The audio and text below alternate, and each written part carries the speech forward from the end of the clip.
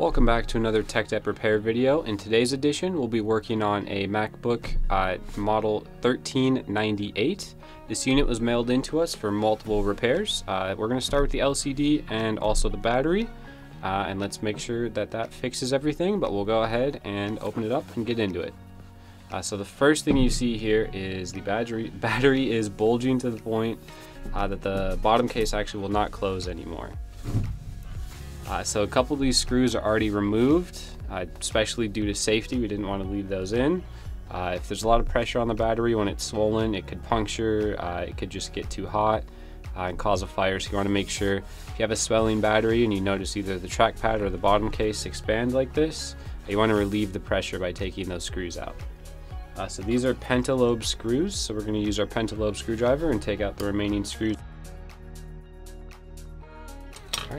Now we're to pop that bottom panel off and get a look inside. I'll get a closer shot for you guys, but as you can see, the battery is extremely, extremely puffy.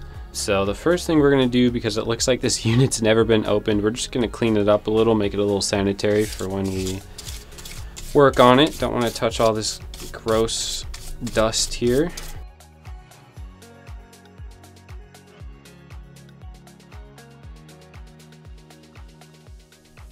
Alright, so now that we've got the unit clean and we can go ahead and work on it, we're to start by disconnecting the battery here. Just to use some tweezers. And this is our battery connection here. Just to pop it up and pull it backwards. I'm to flip the unit around here and we're to take a closer look at how swollen this battery is before we take it out. Alright, so as you can see, especially on the side profile here, this thing was about ready to pop, honestly. It's a good thing it's in for repair.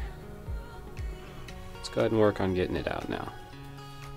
Alright, so now we're going to go ahead and start with a T5 screwdriver and loosen the two screws that hold on the uh, trackpad flex cable here to the logic board.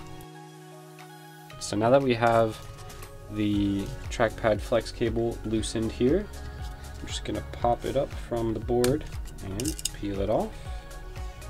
And since this battery is super swollen, I'm actually just going to disconnect it and get it completely, completely out of the way. Normally you can just leave it uh, plugged in at the bottom here and just leave it on the side, but this is super swollen, so I'm just going to go ahead and remove that.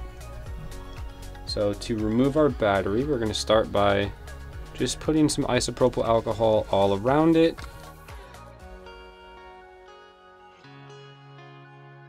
Alright, so we're going to let that sit and break down the glue for just a little bit, and then we'll go ahead and start removing the battery.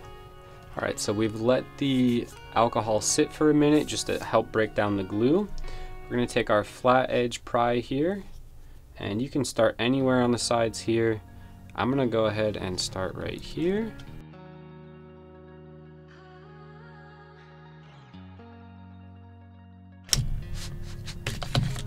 There we are. So that's that half free. We're going to repeat the same process over on this right hand side here.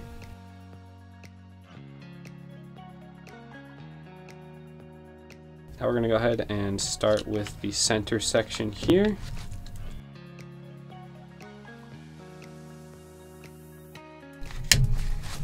Alright, so that's the battery adhesive all completely free. Now we just have to free this center section here and the battery will come right out. So to remove this center section here, the little daughter board, we're to peel off this cover, take our T5 screwdriver, and there's two screws, one on the right side here, and one on the left side here as well.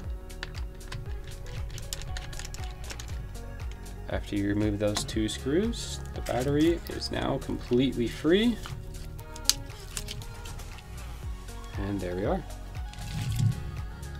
Alright, so now that we have the battery removed, we're going to go ahead and use a scraper and remove the old glue strips here. That way when we put the new battery in, along with some fresh glue strips, everything lays flat and is secured and you don't hear the battery flopping around.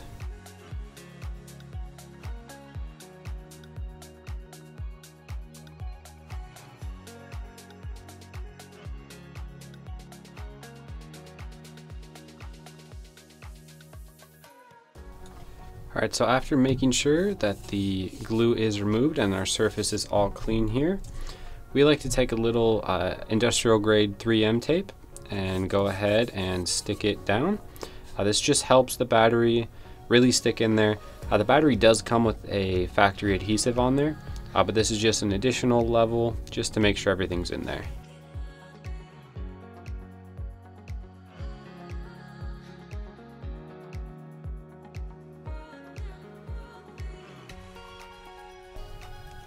And I like to use a little pair of tweezers just to make it easier on myself.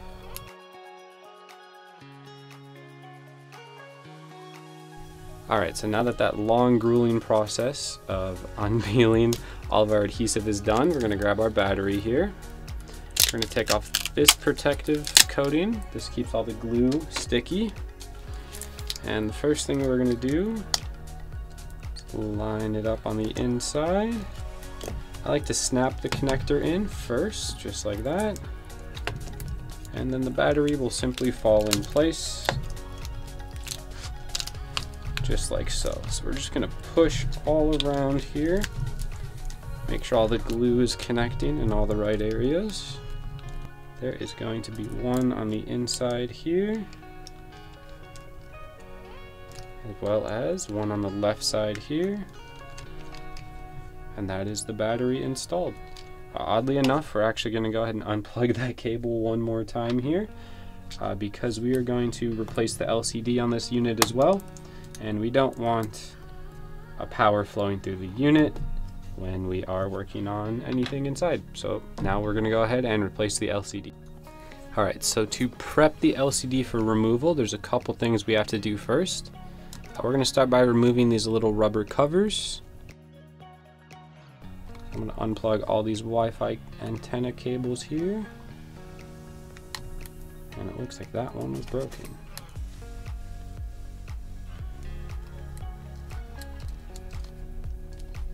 Alright, now we're going to prop up that Wi-Fi card and pull it out. Set it aside. Alright, so now we're going to switch to a T8 bit and unscrew the three screws at either hinge location on both sides that hold the LCD to the top case. Now that we've got all the screws loose, we just have to pop a couple connectors free, starting with the LCD connection here. So there is a little taped down retention bar that we have to flick upwards, and then we can pull the connection itself out and away. Uh, the Wi-Fi antennas we already disconnected when we pulled out the Wi-Fi card, so those are all good to go. There is the uh, microphone and webcam cable we have to disconnect right here on the logic board. Which is easier said than done sometimes.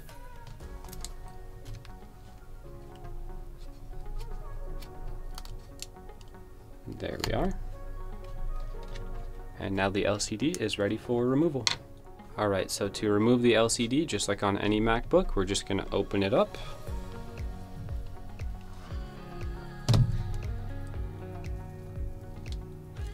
And you'll see that the top case, which contains our whole computer, pops right off and leaves us with our LCD here. So since this is the broken one, we're going to set it aside and grab our new one. Alright, so we've got our fresh part from our warehouse here. We're to go ahead and open it up.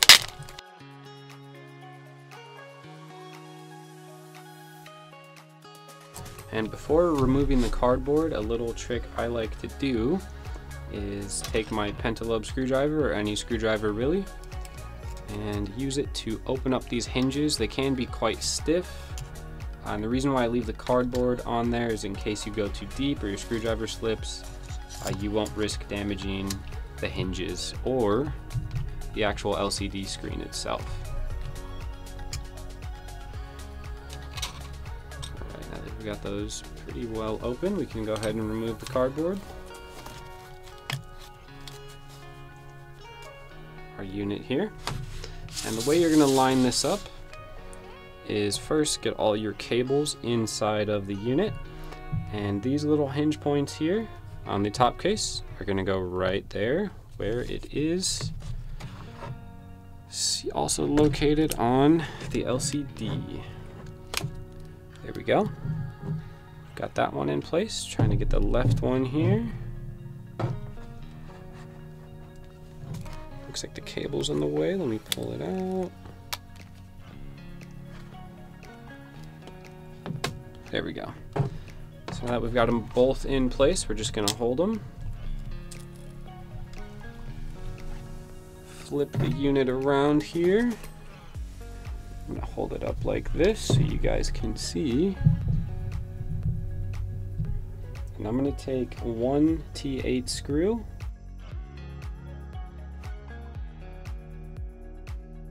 I'm gonna start by making sure these cables run through this little uh, divider here correctly.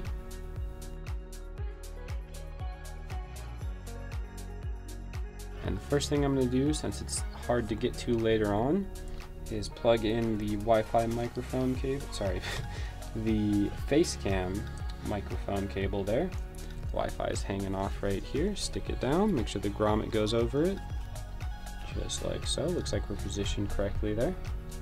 The next thing I'm going to do is plug in the actual LCD connection on the right hand side here. Slot it in and close and clamp down the retention bracket.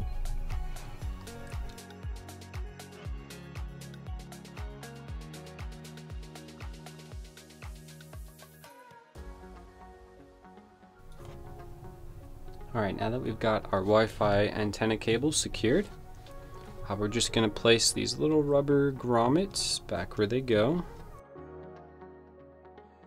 Uh, these are honestly optional. They don't do too much to be 100% frank with you.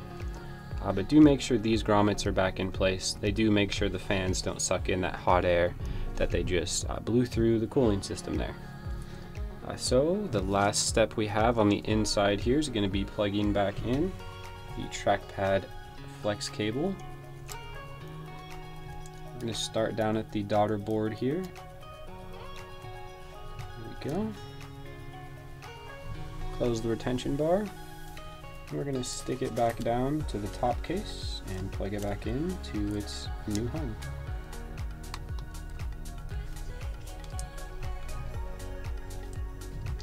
We're going to place the retention bracket back on top and take the two T5 screws.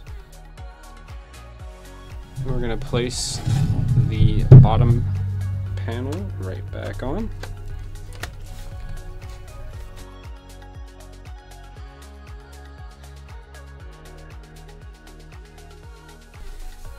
Alright, so that is our battery as well as LCD replaced.